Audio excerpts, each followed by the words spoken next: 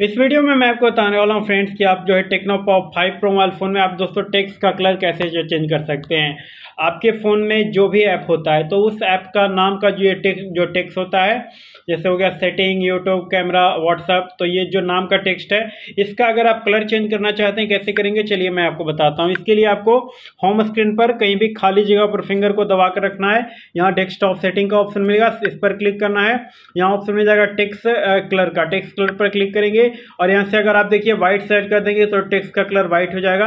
अगर आप यहाँ ब्लैक सेलेक्ट कर देंगे तो टेक्स का कलर ब्लैक हो जाएगा। चलिए मैं आपको दिखा दूँ। तो अब आप यहाँ पर देख सकते हैं दोस्तों कि होम स्क्रीन का जितना भी ऐप है तो उसका टेक्स्ट का कलर यहाँ पर ब्लैक हो चुका है।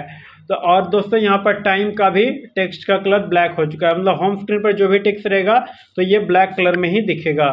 और अगर आप और चेंज करना चाहते हैं तो टेक्स्ट कलर पर क्लिक करके कस्टम पर क्लिक करेंगे।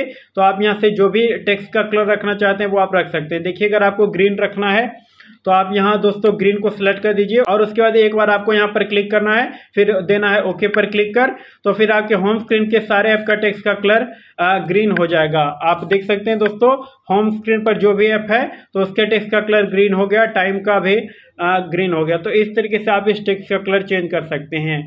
वीडियो पसंद आए, वीडियो को लाइक कर दीजिएगा और चैनल पे नए सब्सक्राइब कर लीजिएगा।